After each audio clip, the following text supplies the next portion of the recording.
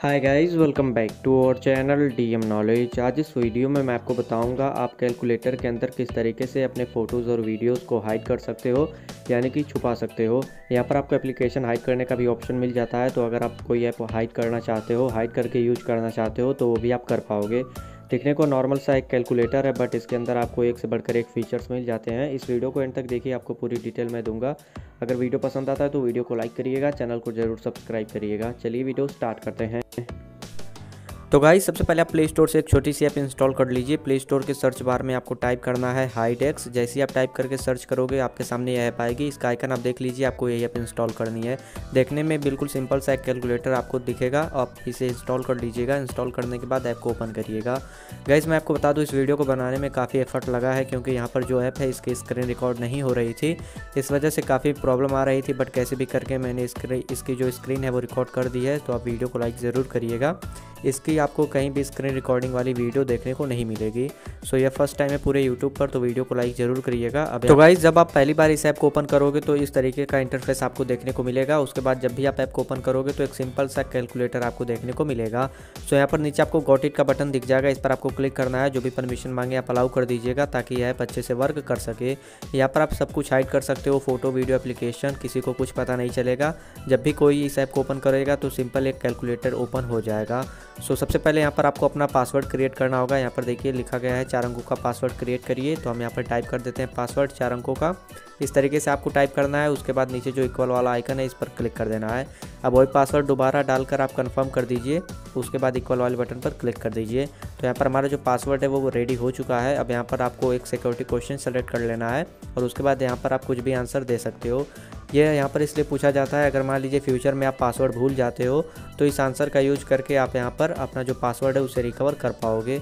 अगर आप password change करना चाहते हो तो आपको कैलकुलेटर में टाइप करना होगा one one two two three three four four और इक्वल वाले बटन पर जैसे ही आप क्लिक करते हो तो वहाँ पर आपको पासवर्ड चेंज करने का ऑप्शन आ जाएगा। अभी मैं आपको आगे दिखा दूँगा।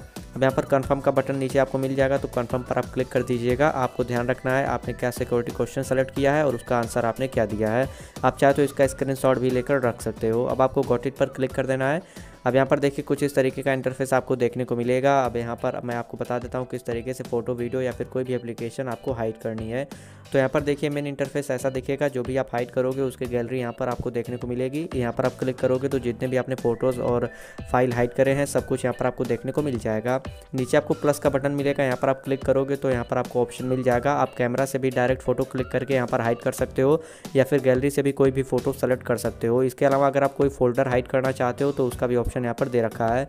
तो हम गैलरी सेलेक्ट करते हैं। गैलरी से एक फ़ोटो और वीडियो मैं यहाँ पर सेलेक्ट कर लेता हूँ हाइड करने के लिए।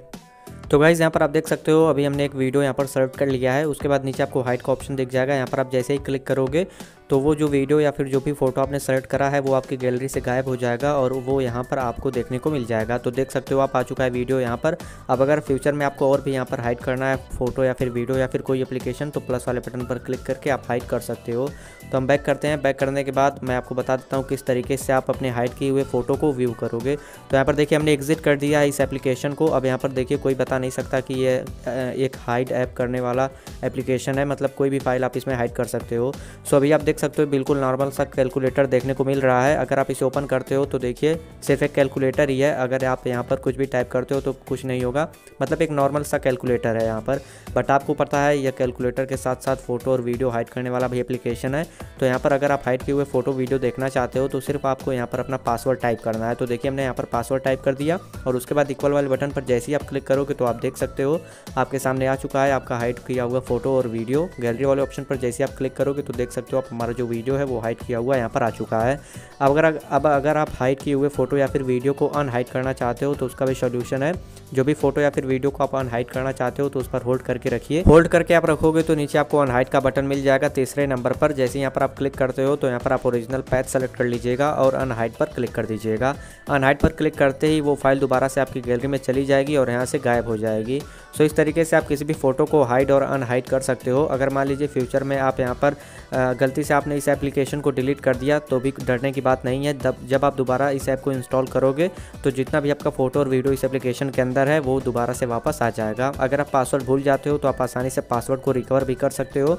और यहाँ पर देखिए, एक सेटिंग का आइकन है नीचे की साइड यहाँ पर आप क्लिक करते हो तो यहाँ पर आपको रिकवरी ईमेल ऐड करने का ऑप्शन आ जाता है।